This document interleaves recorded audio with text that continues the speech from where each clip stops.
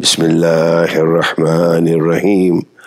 قل هل ننبئكم بالأكثرين أعمالا الذين ضل سعيهم في الحياة الدنيا وهم يحسبون أنهم يحسنون صنعا صلوات.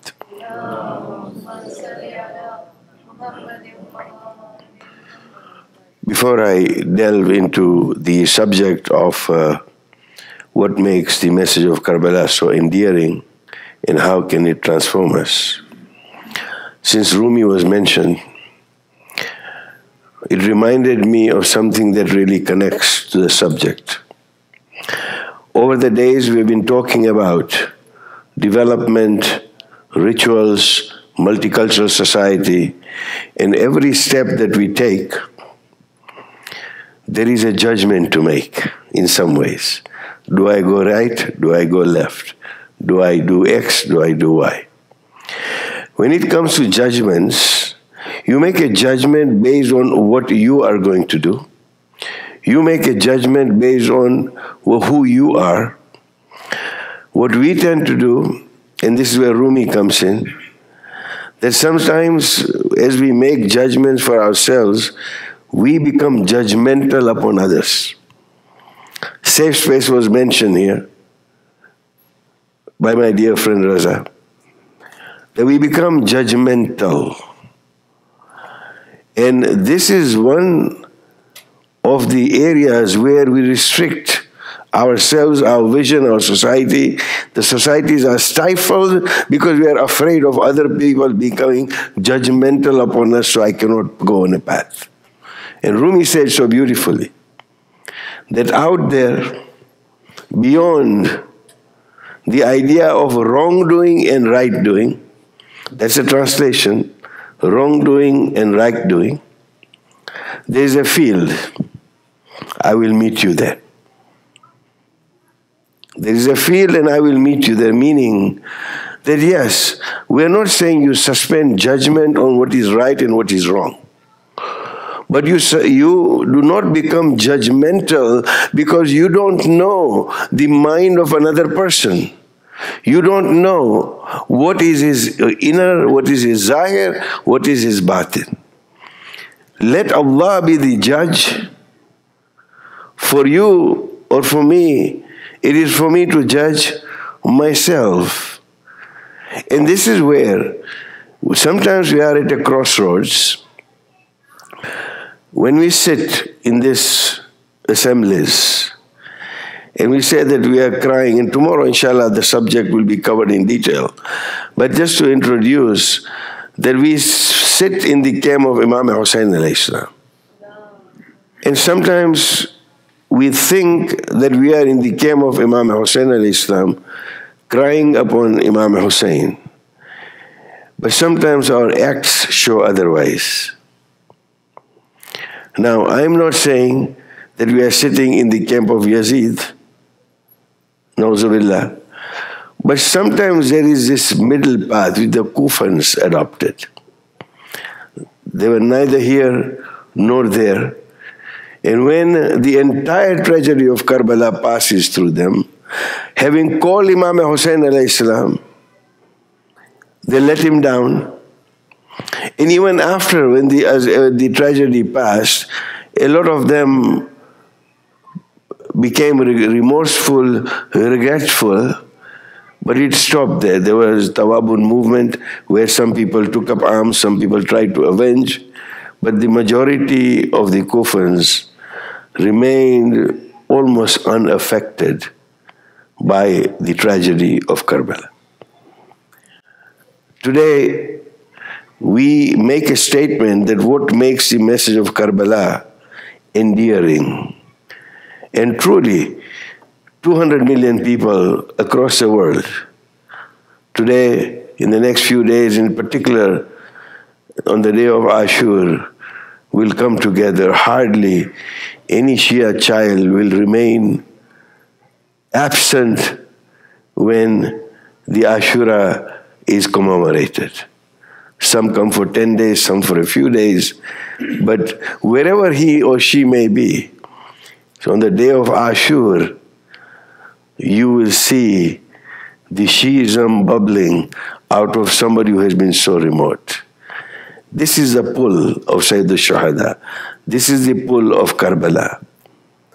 But if we allow it to just stay there, the emotion just stays there, and then for the rest of the months we go our merry way, then we cannot seek transformation, we cannot expect transformation.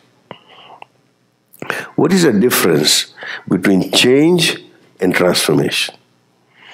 Change normally is external. Transformation is internal. Change is usually comes through rationality, through the head, that I don't have a choice but to change, and therefore I will change. As we said uh, before, that you can either adopt change, you can ignore change, or you become an agent of change. If you become an agent of change, you are at the table. Otherwise, you're on the table and you'll be the menu. Because somebody else will affect your life.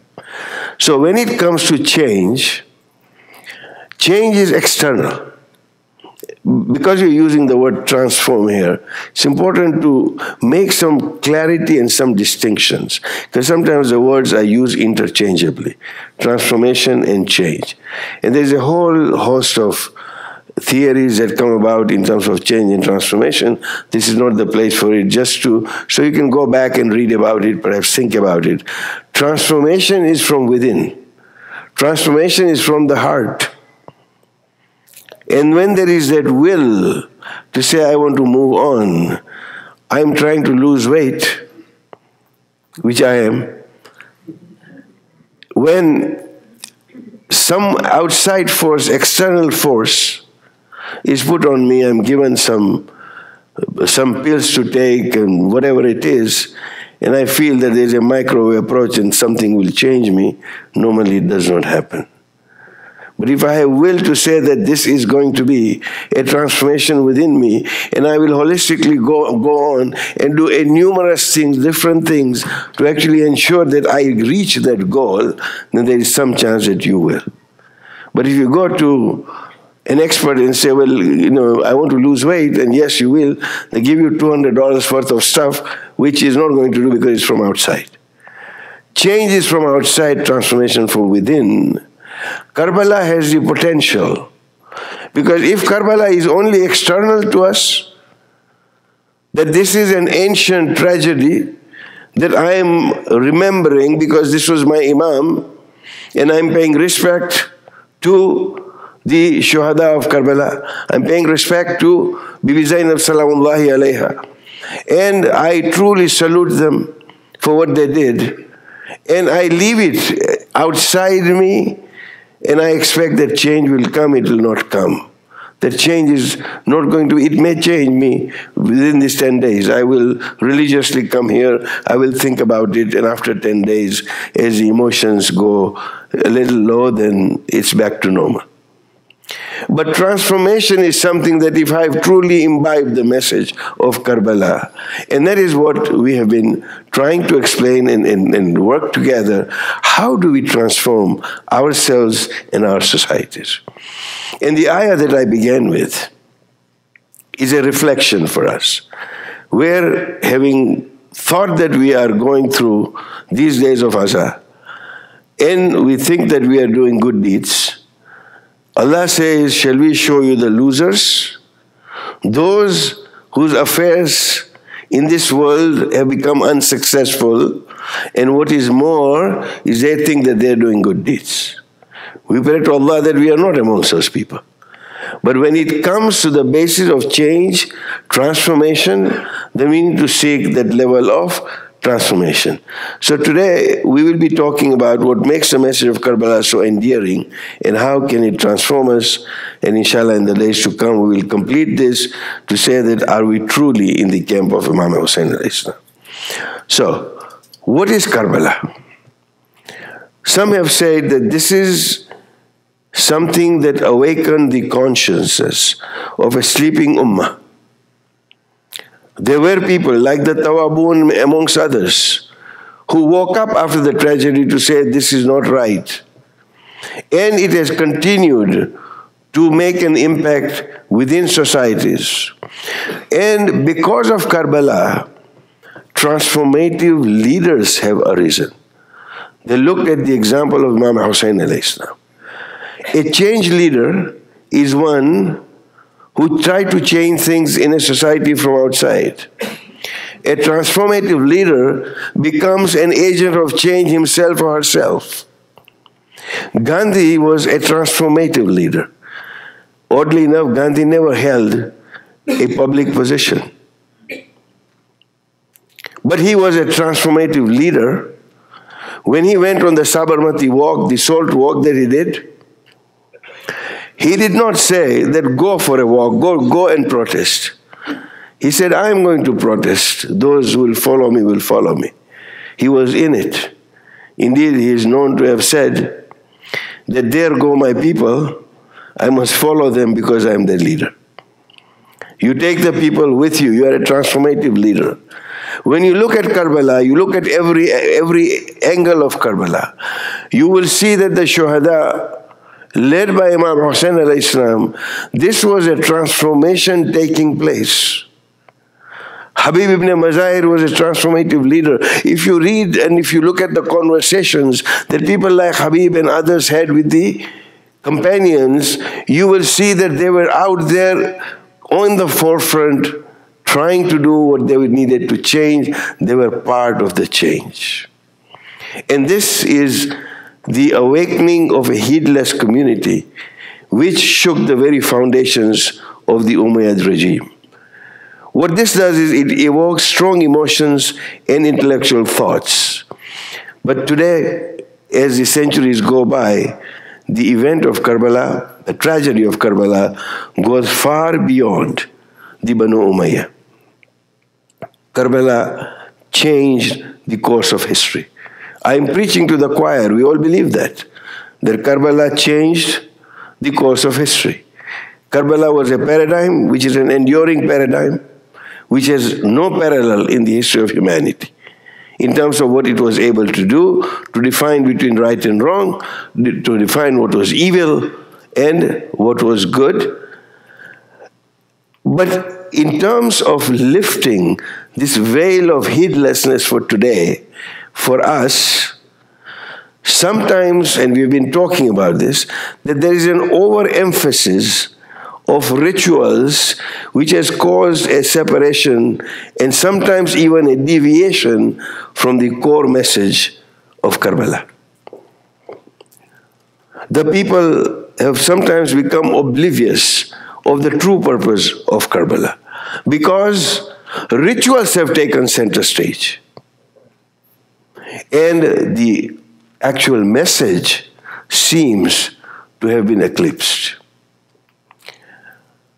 I submit to you that this is not a microwave approach that we can use by merely holding gatherings and rituals.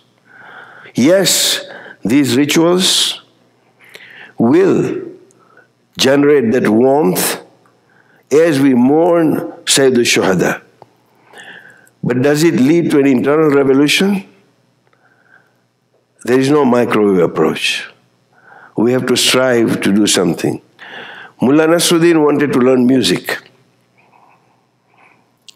And he goes to a teacher and says, How long does it take for me to learn how to play music? And he was told 10 years. It'll take you 10 years to learn how to play music. So he said, Okay, in that case, I will come in the 10th year. we want to have instant gratification to say, why is it that we attend all these majalis? We go to, we, shall we try and change the format of the majlis? Shall we try and change the lecturer? Shall we try and do this and all these things? We try, this is a microwave approach. It's not about changing the format. It's about changing ourselves internally. It's about being authentic. It's about feeling the pulse of Karbala and ensuring that we understand the essence of it. it's not just enough to say that I desire to change. Two things that we need to focus on purity of intention and sincerity of purpose. And secondly, it's the idea of action, amal. So these are the two ingredients because after ilm actually comes the action. To have action without knowing about it. So Karbala teaches us two lessons one of knowledge and one of action. And the azan, the mourning for the Imam and his companions, is a dynamic force that has carried the revolution of Karbala through the ages through these two items knowledge and action. It cannot be limited to rituals. There needs to be action. So the first action, and I'm going through a list of what can we do perhaps to try and begin that journey of transformation. Learn the truth about Karbala. We need to learn more about Imam Hussein alayhi salam. We need to analyze meaning for ourselves the events and the impact of the events if trying to buy an iPhone makes me spend at least five hours in comparing every version of the Android and other systems and whatever, this is for our hereafter. How many hours should we start spending on trying to analyze Karbala? Number two, let us, Mominin, please outsource our akal or our fikr to anybody else.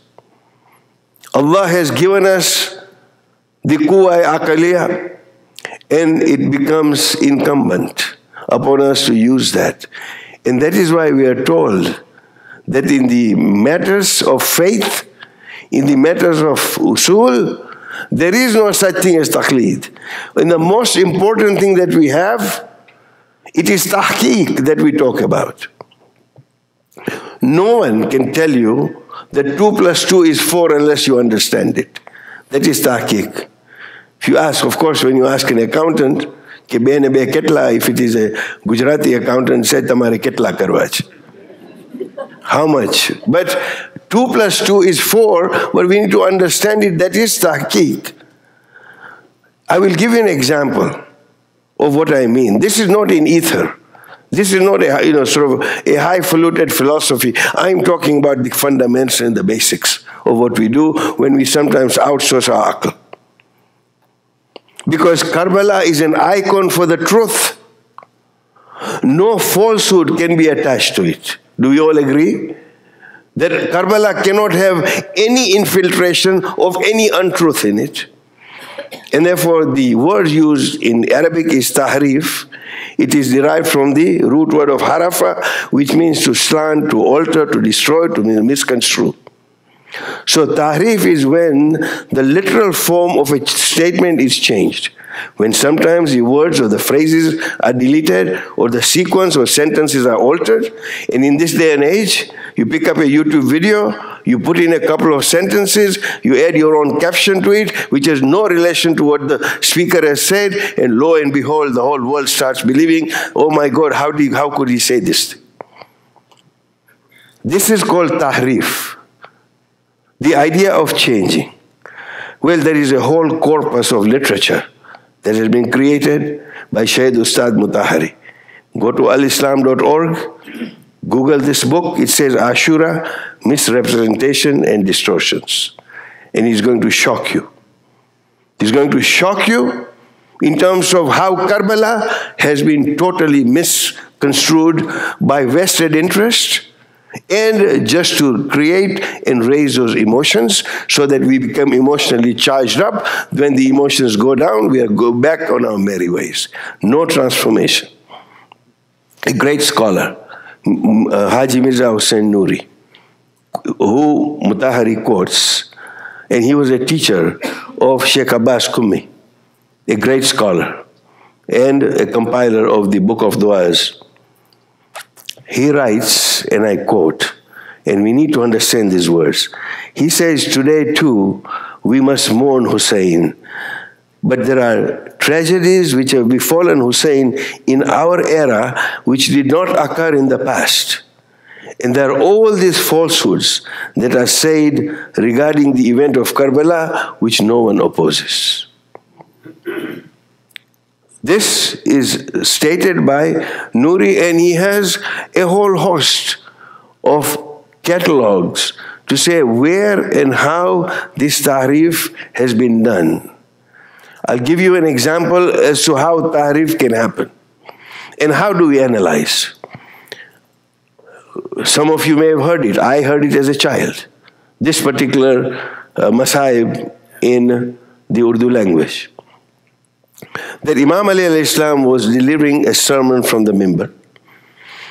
And suddenly, within that sermon, Imam Hussein al-Islam stands up and says, I'm thirsty. And Imam, Imam Ali says, Let somebody bring water for my son. And the first person to get up and to bring that water was Hazrat Abbas. We remember him tonight. And it was on the eighth night, which is a traditional night, when these masahibs were recited, that a little boy, Abul Fazl Abbas, stands up to go and get water. And the story goes that in his rush to bring back the water, the glass fell down and Imam Ali Islam cried. It was a very emotive way of expressing it. Now, analyze that. Imam Ali started giving formal khutbahs when he was in Kufa as a Khalifa. Imam Hussein al must have been at least 30 to 35 years old. Hazrat Abbas would be 15 years old, approximately. Is it conceivable that a 33 year old man stands up in the middle of the Khalifa of the Muslims who's giving a sermon to say that I am thirsty, I need some water. This is but an, a small example of the tahrif that takes place, and sometimes as audiences, we swallow it hook, line, and sinker. Without any analysis in the emotions that we have. You know, this kind of thing of tahrif is actually the legacy of Muawiyah and Abu Huraira. Huraira was once approached by a merchant and says, I bought a whole stock of onions and my onions are rotting because the heat has increased and the onions are not selling. He was speculating on onions being short in, in the season, so he would store them. But the temperatures went so high that his onions started wilting and spoiling. So Abu Huraira said, okay, on such and so on Friday, after the prayers, you come to Makkah and bring your onions with you. This man was from a place called Akka. And Abu Huraira, after the Friday prayers, announces that I've heard from the Prophet, Nauzubillah, that whoever smells the onions of Akka in Makkah will go to Jannah. and all his onions were sold. I don't know whether Abu Huraira got a cut out of it or not. That remains buried in history. But this is the legacy of the likes of Abu Huraira to have tahrif. And therefore, Mu'mineen, we need to challenge the falsehoods. But how can you challenge a falsehood? Unless you know the truth. Unless you have read Abu Mikhnaf. Unless you have read the authentic sources like the Luhuf, for example. In all these books, today we don't have excuse. All these books are not only translated in English, they're available online at the touch of a button. You can even read it on your iPhone while you're resting or doing whatever. The point is, we need to have the correct interpretation and the correct story of Karbala to be able to challenge it for how long? Because there is no sincerity of purpose, and when there is no sincerity of purpose, then there cannot be transformation. Here, there is a man who comes to a great scholar and says, I saw a dream when I saw that I'm biting away, nauzubillah, of the flesh from the body of Imam Hussein. I saw this dream. I mean, it's a jarring dream if you get a dream like that. And uh, the scholar put his head down, thought for a moment, reflected, and he knew. He said, Perhaps you are a Marsiya Khan? He said, Yes, I am. So he said, Hereafter, either abandon your Marsiya Khani altogether or draw your material from reliable books. You are tearing away at the flesh of Imam with these lies of yours. It was God's grace that He showed this to you in a dream. This is serious. And we see this all the time. And today, in this day and age of the videos and you know graphic presentations and what have you, if you listen to some of the words, mu'mineen, and if you truly understand the words, it is bordering on shirk. It is bordering on shirk. And yet, in the memory of Imam Hussein al-Islam, the community is sometimes silent or doesn't care or doesn't understand. Second, action that we need to take for transformation share the message. This is a universal message. And Josh Malihabadi said so well to say that ko bedar to ho lene do, har qom pukaregi hamare hain Hussein. Powerful words that the entire world will say, but insan ko bedar to ho lene do. Well, we have to be bedar ourselves first before we are going to share the message. And the opportunity to share the message is phenomenal today. Social media can be a good or a bad thing, it's a double edged sword. It is doable because Karbala has that alchemic power of turning lead into gold. And then transform the mindset. Transformation comes, you know, they say, whatever, if you, for example, if you're a golfer, you probably say that the longest hole in the game of golf is between the two years. It's how you think. It's here. Unless there's a transformation of that mindset that we have towards Karbala, so we should stop viewing Karbala as a distant tragedy and allow to immerse ourselves into that spirit in a practical way. I've uh, described it two other ways before we can go on to say on which side of the history are we standing. The subject tomorrow, inshallah, will be the idea of Husseiniyyat and Yazidiyat, which will be tomorrow. But today I just want to focus a little bit on how not to be the follower of Imam Hussein al-Islam. I call it the Kufi conundrum. Many people claim allegiance did nothing to help Imam Hussein al-Islam. And after the tragedy, they were left with a great burden of remorse and guilt. For example, Ubaidullah ibn Hur al-Jufi, he refused to help Imam Hussein al-Islam.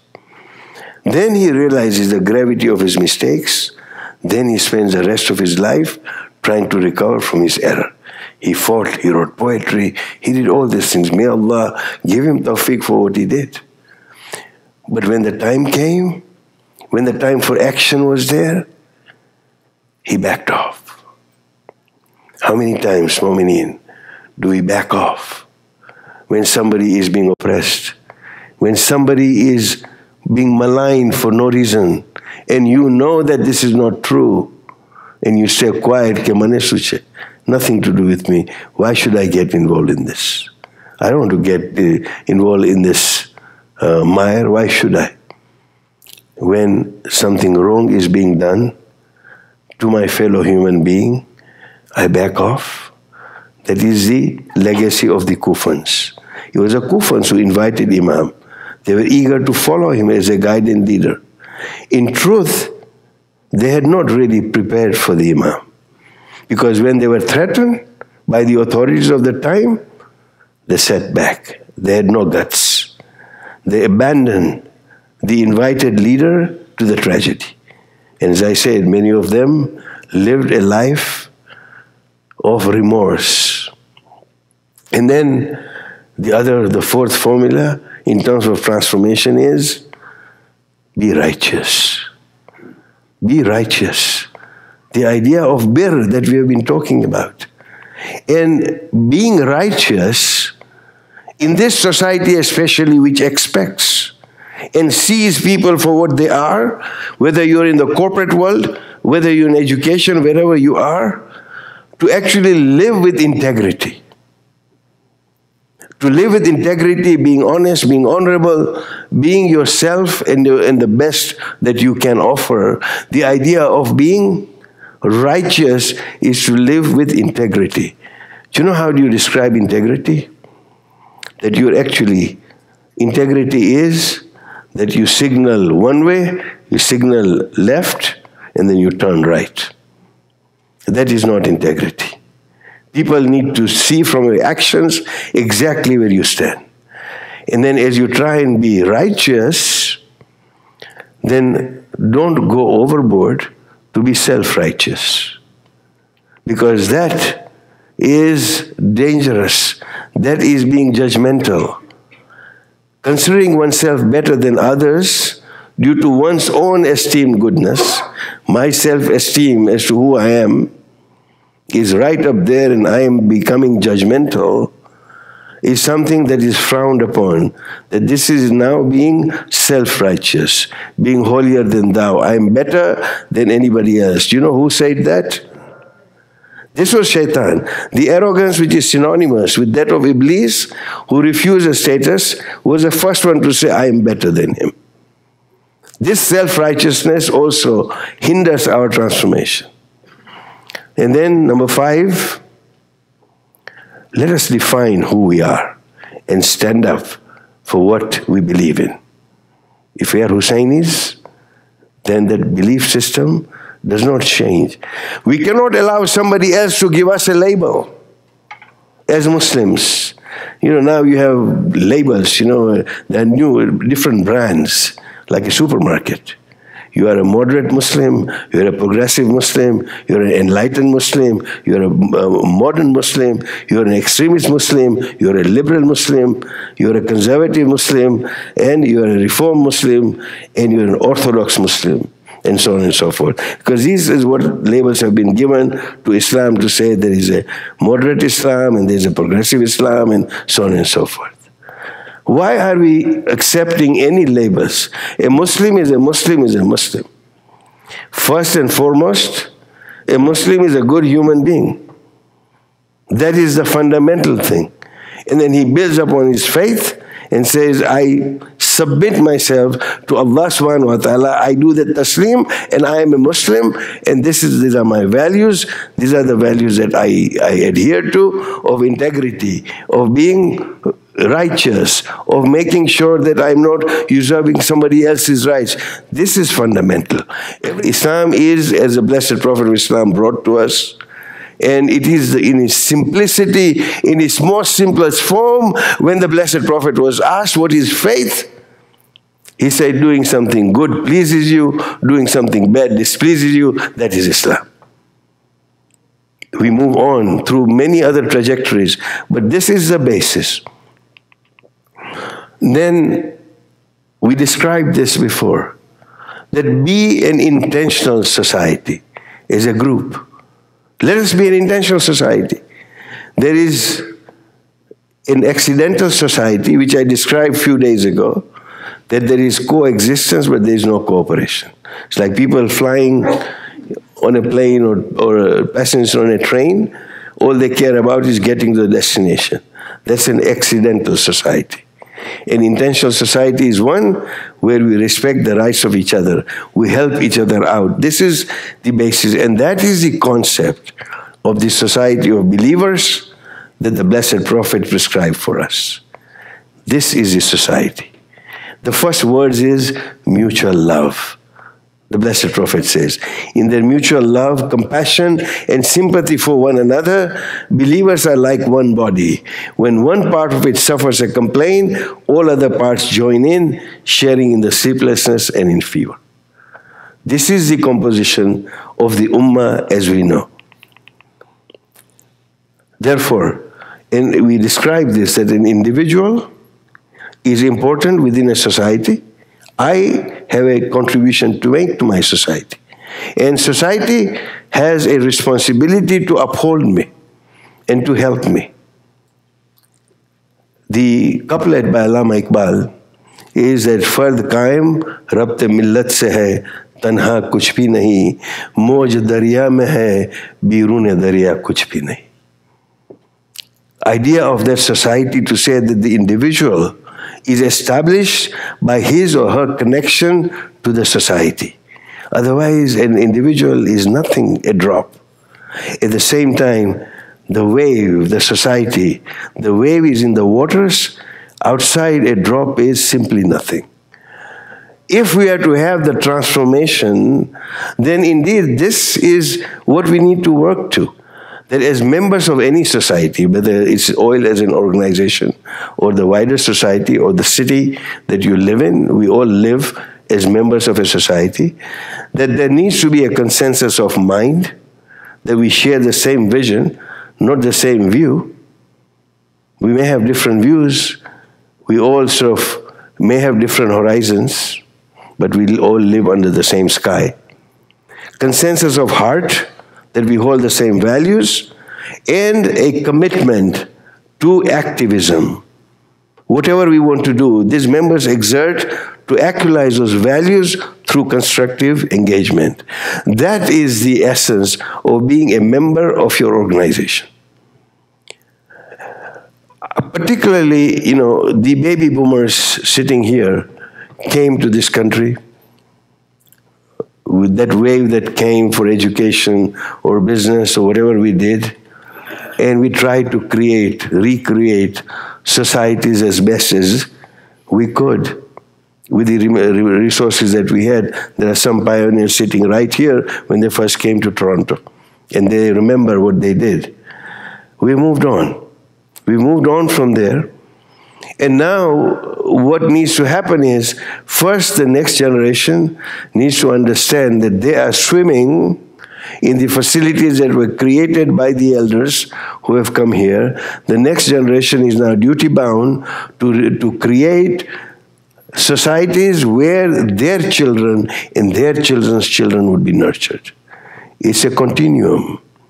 Shaykh Ustad Mutahari said, You don't have to worry about seven generations. You just need to worry about one generation, the next generation. Because if you nurture the next generation correctly and properly within the ethos of the faith that we have and the values that we have of being good human beings and good Muslims, then that generation will nurture the next one. Thankfully, and I say this with a lot of reflection and thought, and please, I should not be misunderstood that thankfully more than half of our work is done as parents and as grandparents in this land because some of these Islamic values exist far more than they exist in the Muslim countries. We would have to work much harder to bring them up, nurture them than we have to do here. Very quickly, what can you give? You can give intellectual capital. MashaAllah, we have a lot of it. What can you give? What else can you give? You can give social capital provide an element of passion and enthusiasm for the community. And I said a few days ago, the progress of a society is with the more who are ready to give, less who are ready to take, then that uh, society moves faster. Then when you have more takers and a few givers. Here is the saying of the Blessed Prophet that the wealthy who does not wait to spend in the way of Allah until a needy comes to his door, but goes to the abode of the poor to mitigate his suffering, is a true muttaqi. Social relations and stepping out to assist someone else. So, how much have we given? What is the limit? Is an example that has been set in Karbala, and this indeed is a lesson for us. Salawat.